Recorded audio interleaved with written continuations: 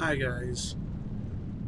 With the launch of the classic demo, I feel it's really time I need to really start reminding people that I am forming a pre-launch vanilla solo group.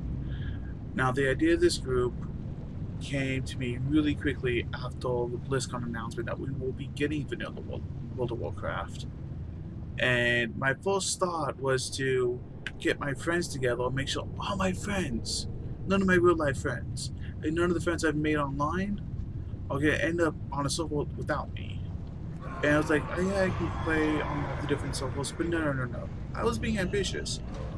As far as I know, I was the first one to really start trying to gather people. And I think it's really paid off. I have all my friends, so they're going to be joining the same server as me.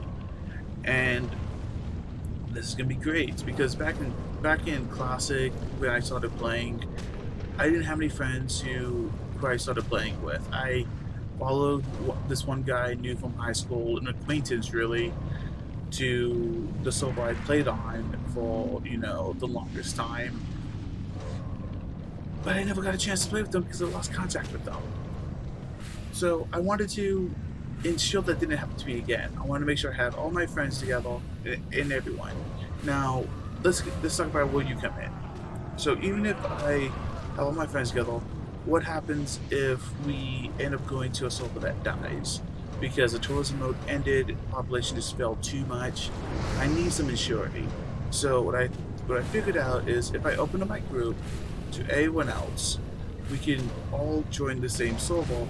We'll have enough people who you know are interested in playing it, playing classic, even if they don't start playing all at once go to the same server, we're going to show that the is going to be a high population server, which is going to be great. This is this is very important. We want a good, strong population, and as the tourism mode, you know, brings comes down, hopefully we'll have enough of a call that we're still going to be able to maintain that social cohesion. So it's not going to like die as compared to a lot of souls probably gonna die. So I'm really excited to to try to get this out. I'm aiming for about 2,000 players. Right now we have 120 plus. I haven't counted exactly. Um, some people on. I have two different groups on the Discord and on the Blizzard Battle.net social group. On the Discord, people have different names, so it's a little bit harder to keep track of everyone. But I, I do know I have 120 plus 120 plus players, which is pretty good. We're not all going to the same guild. We're not all going to the same faction. We're just gonna all go to the same server. We're gonna maintain the Battle.net social group in order to make sure make sure like we can get some communication back and forth if we need to. Probably won't, but we're gonna maintain the Battle.net social group so we can use it as an LFG system. So like say like, oh look, I'm quest I'm questing in Westfall. I need help with this.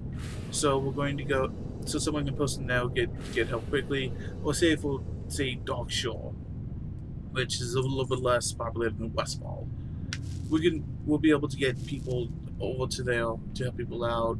You know, maybe might might have missed some stuff and whatnot so questing is going to be uh, going to be a big part of this. Um, dungeon groups for me, dungeon can be slow.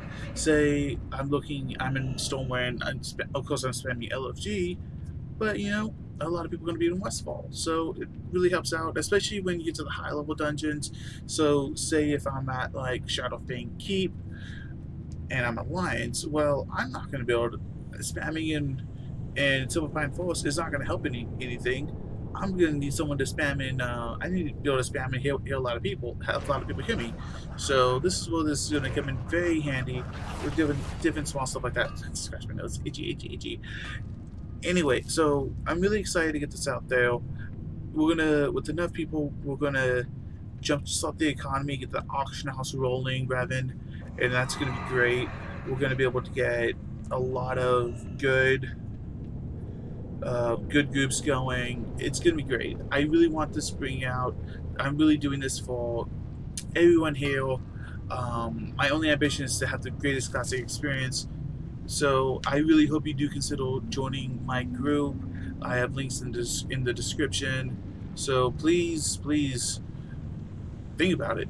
If you're going to be playing Classic, why not make sure you play Classic the best way possible?